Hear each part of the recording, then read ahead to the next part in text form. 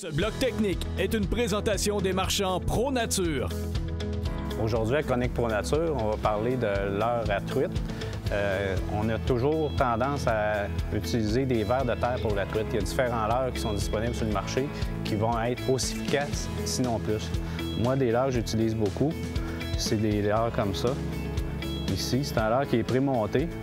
Vous pouvez même euh, installer ça sur une ligne à pêche d'un jeune qui est débutant. Euh, pour la pêche.